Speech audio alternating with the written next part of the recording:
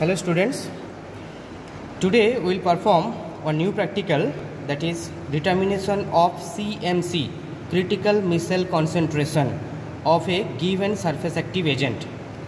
So our aim is to determine critical micelle concentration that means CMC of a given surface active agent. So before going that practical first you have to know what is CMC, what is surfactant actually this practical that is related with chapter interfacial phenomena. So in theory uh, you have to study the uh, in details about interfacial tension and interfacial phenomena. So here that is uh, practical. Just i will give you one overview how to determine cmc that means critical micelle concentrations. So before that so you have to know what is the meaning of interface. See that this is figure one figure one beaker that contains some water. So this is air this is water. So the boundary in between these two that is known as interface. For example this water contains one solid. So the boundary in between this liquid and solid that means this boundary that is known as interface. Clear? So here this boundary that is also known as air water interface this boundary that is known as air water interface. Now i have added some surfactant. Now what is the meaning of surfactant? Surfactant means that is surface active agent which decreases the surface tension of water. Which decreases the surface tension of water that is known as surfactant or surface active agent. For example initially i have added a small concentration of surfactant in this water. So what will happen? That surfactant that will adsorb at the surface of this air water interface. Now the structure of surfactant is like this, see that one polar head is there and one non-polar tail is there. Head that is hydrophilic and tail that is hydrophobic. Hydrophilic means water soluble or water loving. Hydrophobic means water hating that is non-polar in nature. So when we add surfactant at low concentration, it will adsorb at the interface, air water interface. Now again I have added some more amount of surfactant. Again it will adsorb at the interface. But after some time what will happen? This air water interface that will be saturated. After the saturation point, see this is air water at air water interface.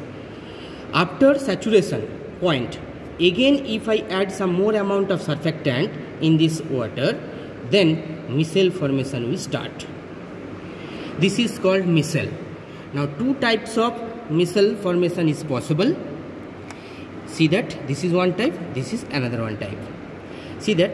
In this type all that polar head that are situated outside and all that non-polar tail that is inside they are arranged like a ball this is called micelle. So if all that non-polar end that are in the centric positions so then this pocket obviously that will be hydrophobic. And outer portion because of presence of hydrophilic head group this, this will be hydrophilic in nature. Another one arrangement is possible. All that polar head that will be arranged like this inside or concentric and all that non-polar end that will be arranged like this. So in this case, this pocket that will be hydrophilic in nature and outside this micelle that will be hydrophobic in nature. Why? Because all that non-polar end that is outside this micelle. So two types of micelle is uh, possible. Now in this practical we have to determine the minimum concentration of surfactant at which micelle formation starts that is known as critical micelle concentration. So what is the definitions? See that CMC is defined as the concentration range at which micelles are formed by the surface active agent. Actually, this is not a particular point. This is a range.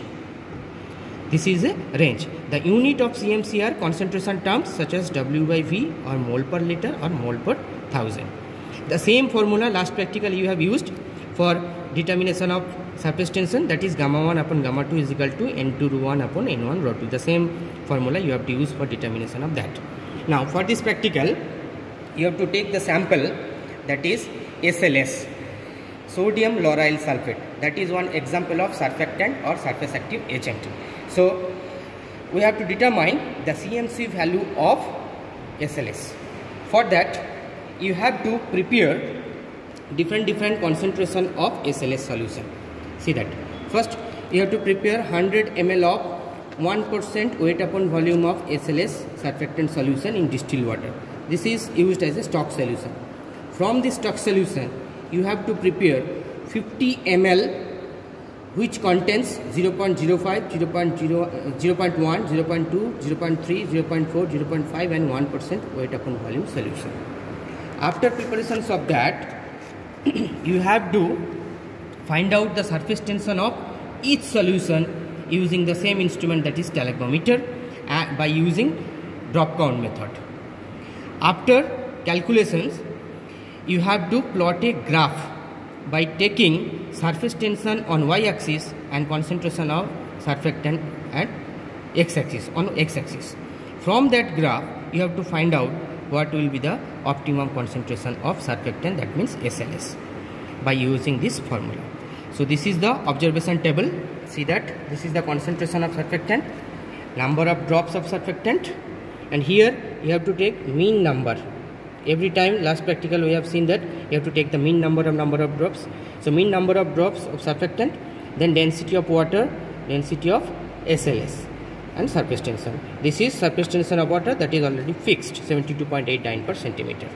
Now suppose you got the value like this. See that concentration of surfactant you have prepared 0 0 0.05, 0.1, 0.2, 0.3, 0.4, 0.5 and 1% weight upon volume. And you got the number of drops in cases of water 40, uh, sorry, in cases of 0% uh, that means only water 40, 0, 0.05% weight upon volume, um, SLS solution, the number of drops 54 like that. For every concentration, you have to determine the number of drops.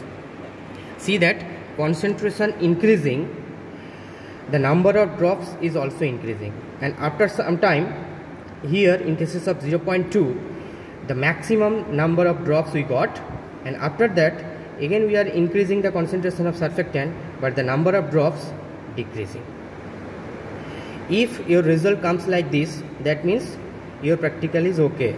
You, you will get the exact result. Okay? See that. Surface tension decreasing. So number of drops is also increasing. That means surface tension is decreasing. Okay?